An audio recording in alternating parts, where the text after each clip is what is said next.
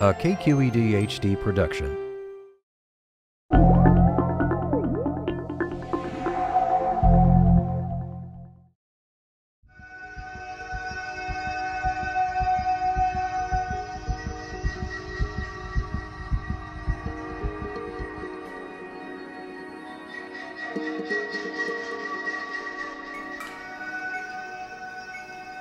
The day of my heart attack, I woke up and I just felt real weak and tired a little bit. I just thought, oh, it's acid reflux, acid indigestion, it's nothing, you know. But I had promised my four grandkids I was fixing chicken cacciatore, so I went and got it all ready. And then around noon, I laid down because I just didn't feel right. She didn't want to stop doing what she was doing, but her husband uh, it, would, it, became evident that she was so weak and, and debilitated that he called 911. What happened afterward saved 72 year old Arlene Scuba from dying of a heart attack. Paramedics diagnosed her and alerted John Muir Medical Center in Concord that they were bringing in a heart attack patient from nearby Clayton. By the time the ambulance arrived at the hospital 15 minutes later, everything was in place for a cardiologist to get to work opening up Mrs. Scuba's arteries. If she hadn't been intervened upon the way she was, she wouldn't have survived at that time.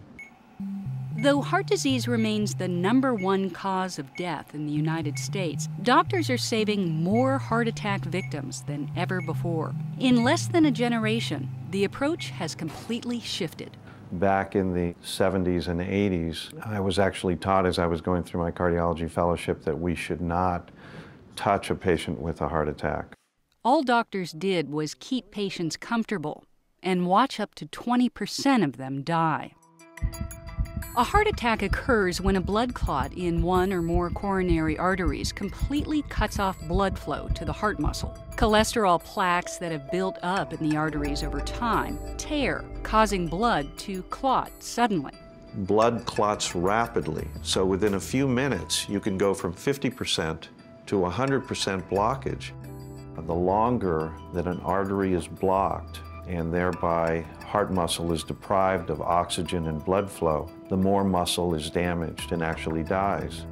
There's an adage that we use in cardiology that time is muscle.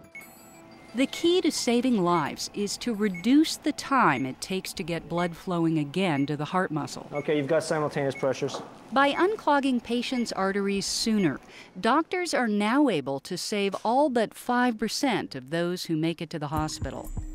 Since 2006, a national effort to improve coordination has reduced the time it takes for a patient to get from the hospital door to the operating table.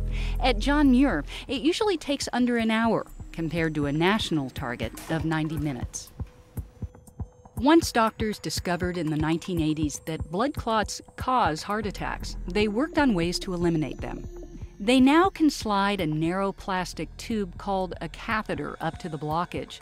The catheter can carry a balloon to push the clot aside or a device to suck it out. The doctor may then position a metal mesh called a stent to hold the artery open.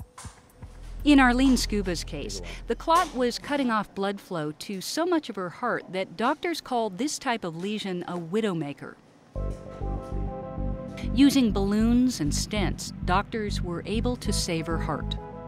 I mean, it's amazing to think that this lady who was almost dead, who was shocked three times, resuscitated, now has virtually a normal heart muscle. That's what she has. It's, it's, really incredible. I'm just luckiest person on earth, I guess. One of the lucky ones. One of the issues that we have is for the patient to recognize that they're having a heart attack. That's a really major issue. There can be a myriad of different symptoms. Chest tightness or pressure, neck discomfort, uh, jaw discomfort, even upper back discomfort. Just dial that 911. Dial 911. It's so important. It's the only way you're going to make it.